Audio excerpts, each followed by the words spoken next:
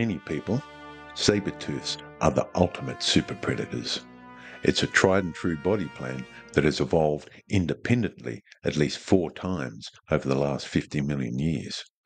Each time there has been a trend toward increasingly extreme designs with ever longer, more deadly canine teeth and increasingly powerful muscular bodies. But which of these separate radiations culminated in the all time most extreme saber tooth ever? Keep watching if you want to find out.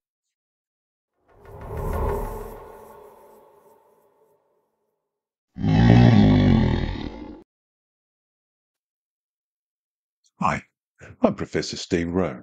I'm a real paleontologist, and you're watching Real Paleontology. Now, in previous episodes of my Super Predator series, you might have just noticed that I've featured a bunch of saber-tooths Smilodon, Xenosmilus, Homotherium, Thylacosmilus, and Inostrancevia. And a few weeks ago, you might remember, I also published an episode looking at why the saber-tooth body plan has disappeared and re-evolved so many times. So despite the fact that these distinct saber-tooth radiations have evolved independently from different ancestors, within each of them there has been a general trend over time to converge on a similar, increasingly extreme body plan. These common features include increasingly long, flattened, and curved upper canine teeth and decreasingly powerful bite forces, together with increasingly powerful necks and forelimbs, as well as a host of additional features that improve the animal's stability and capacity to get up close and personal, to mix it up with big, potentially dangerous prey. Overall, this results in a body that is at least superficially more bear-like and less cat-like. The final product is an extreme super predator that, from the sharp tips of its outsized canines to the end of its often stubby little tail, has been optimized for one thing and one thing alone killing big animals and killing them quick. Among these separate evolutionary experiments, which one gave us the single most extreme saber tooth of all time? Well, I suspect that many people would pick either the best known and most notorious Smilodon populator, the giant saber-toothed cat of South America, or perhaps Thylacosmilus atrox, the exceptionally toothy, pouched saber-tooth, closely related to marsupials and also from South America. And there is little doubt that both represent the most extreme examples within their respective families, the Felidae and the Thylacosmilidae. There's another family we haven't yet looked at in this series that I think produced the most extreme saber tooth of all. That family is the Nimravidae, and the species is this one, Barbourofelis fricki. And of course, I will spend most of the rest of this episode explaining just what makes this the most extreme saber tooth ever. But first, a bit of backstory. Now, just to confuse you, I must point out that some sources place Barbourofelis here in a separate family to the Nimravidae, the Barbourofelidae. But I'm going to follow the most recent classification as proposed by Barrett and Hopkins here in 2024 and treat it as a Nimravid. In this family tree, Barbourofelis and its close relatives form a subfamily within the Nimravidae. For anyone who's particularly interested in the family history, this paper is a free download. Anyway, regardless of whether you want to call this a family or a subfamily, the star of our show, Barbourofelis fricki, popped up in southwestern North America around 10 million years ago, and then disappeared from the fossil record around 7.5 million years ago. It seems to have preferred open woodland kinds of environments. There are four other species within the genus, but Barbourofelis fricki was the largest and most specialized. How big? Pretty darn big, about the size of an African lion in terms of body weight. Not as high at the shoulder, but more muscular and robustly built. So, why do I think it was the most extreme? Let's start with the defining feature of every mammalian saber tooth, its upper canine teeth. In Barbourofelis fricki, these were absolutely ginormous. Now, in absolute terms, it's certainly true that the canines of Smilodon, particularly the gigantic Smilodon populator here, were longer. But this monster was an animal around twice its size.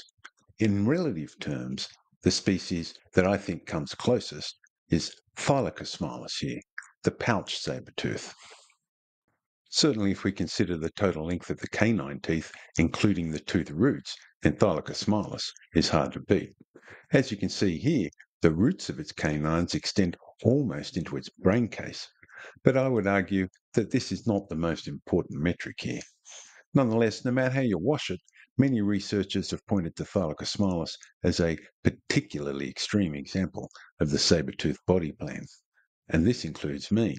In 2013, along with some colleagues, we published this paper wherein we compared the mechanical performance of Thylacosmilus to Smilodon and concluded that the pouch saber-tooth was clearly the most highly specialized of the two.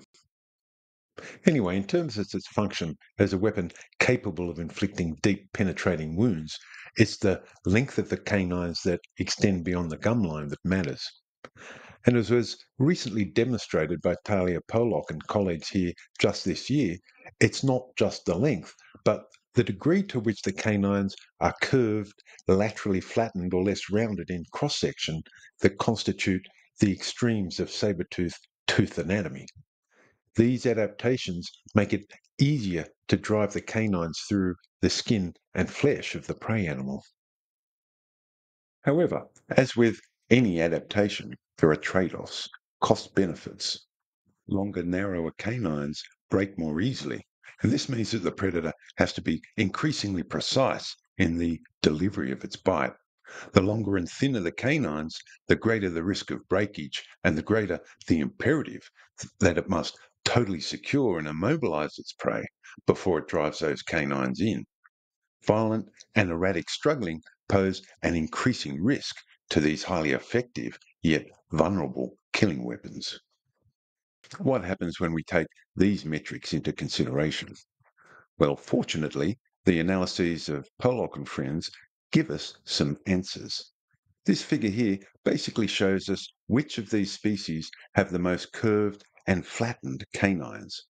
And on this basis, Barbourofelis is the most extreme, edging out Thylacosmilus and leaving Smilodon in its dust. In this second analysis, we see that, as expected, the canines of Barbourofelis fricki can pass through the hide and flesh of its prey with less force.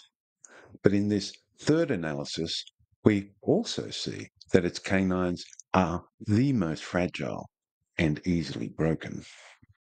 I would argue that these findings alone pretty clearly demonstrate that Barbourofelis fricki was the most extreme saber tooth ever.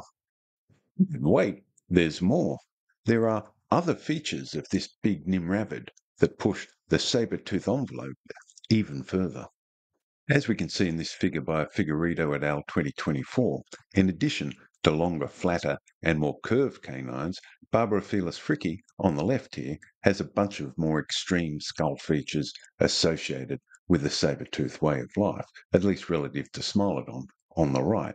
These include upward rotation of the face, which effectively helps to project the canines forward, a reduced bony process on the lower jaw here, which reduces leverage on the main jaw closing muscle, a big flange on the jaw, which obviously acts to protect the vulnerable canines, and the possession of what we call an orbital bar.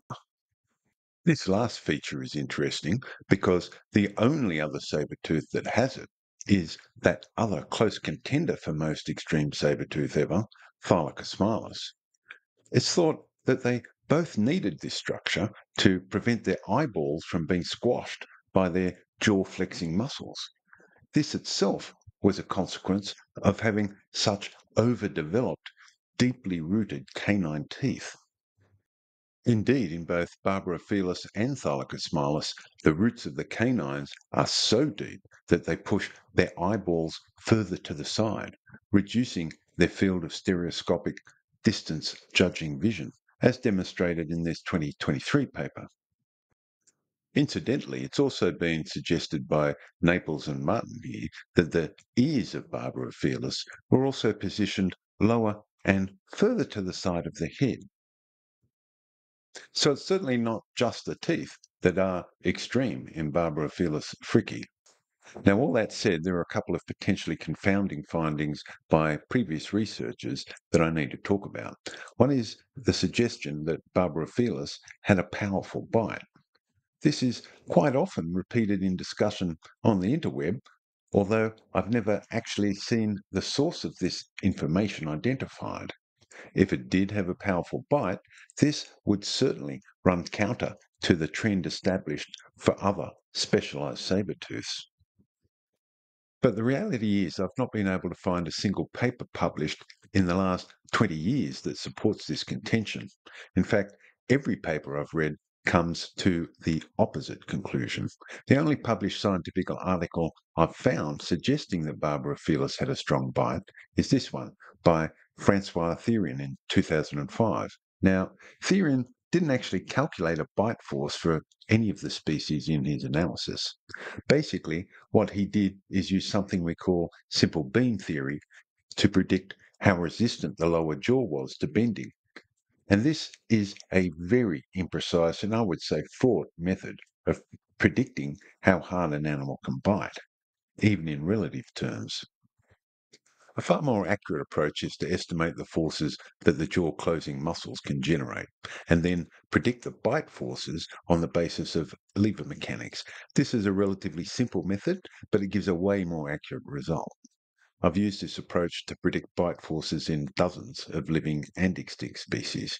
If you'd like a summary on how we do this, you might like to check out my previous Bite Club episode.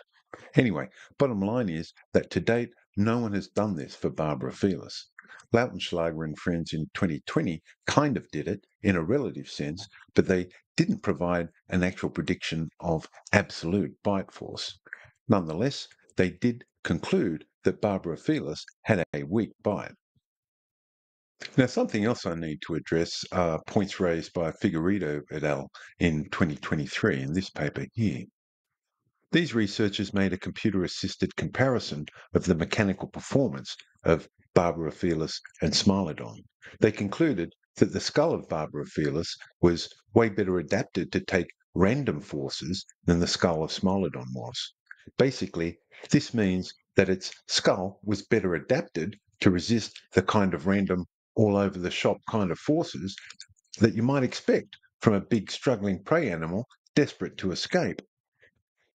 Based on this result, they suggest that the big Nimravid might have used a different killing technique to that of other specialized saber tooths.